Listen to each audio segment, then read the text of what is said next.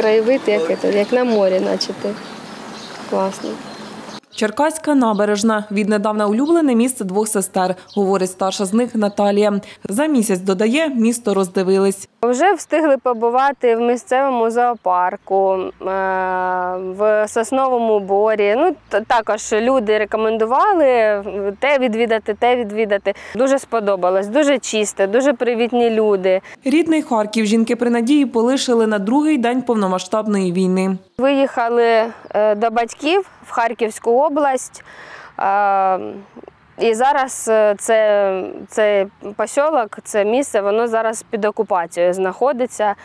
Е, То ми ще побули там якийсь, якийсь час. Е, Ну, напевно, десь три неділі ми там побули. Е, Але вже коли розбомбили там лікарню, Тоді не зволікали, додає, і звідти евакуювалися. На облік стали в Черкаському пологовому. Як і в Харкові, ми стояли в одного лікаря, і також і тут ми в тому самому одному ж пологовому будинку і в того ж самого лікаря. Зустріли добре, Чотирирічний син пані Оксани Кирило на запитання, про що мріє, відповідає: Додому хочу.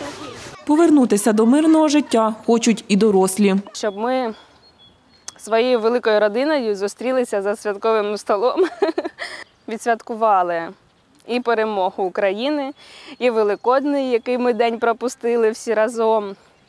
Тому, напевно, мрію про великий стіл за великою родиною.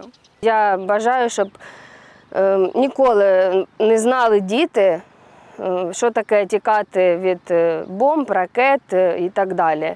І здоров'я. По большому счету більше нічого не треба. Попри нестабільність, розповідають, думають про майбутнє. У міському гуманітарному центрі вже придивляються дитячі візочки. Так як ми теж ну, їхали, то ми не брали з собою ні коляску, ні кроватку, тому що думали, що ми вже скоро повернемось додому.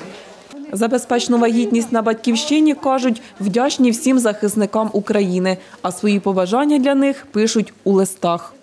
Бережіть себе, молимося за вас. Тетяна Недбайло, Максим Шевченко. Новини на Суспільному. Черкаси.